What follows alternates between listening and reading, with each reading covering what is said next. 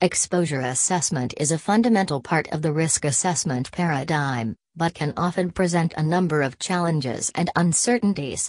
This is especially the case for process contaminants formed during the processing, for example heating of food, since they are in part highly reactive and or volatile, thus making exposure assessment by analyzing contents in food unreliable.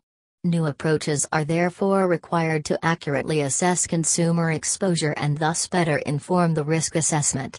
Such novel approaches may include the use of biomarkers, physiologically based kinetic, PBK, modeling facilitated reverse dosimetry, and or duplicate diet studies.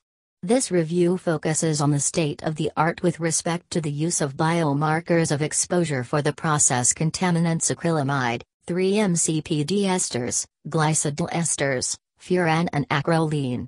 From the overview presented, it becomes clear that the field of assessing human exposure to process-related contaminants in food by biomarker monitoring is promising and strongly developing. The current state of the art as well as the existing data gaps and challenges for the future were defined.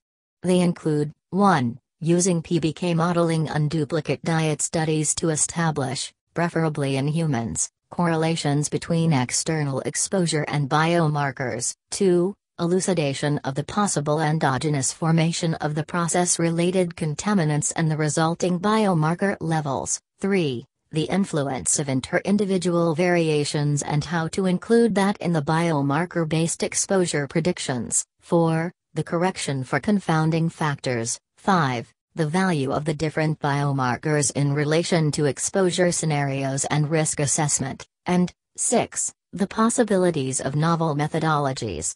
In spite of these challenges, it can be concluded that biomarker based exposure assessment provides a unique opportunity to more accurately assess consumer exposure to process related contaminants in food and thus to better inform risk assessment.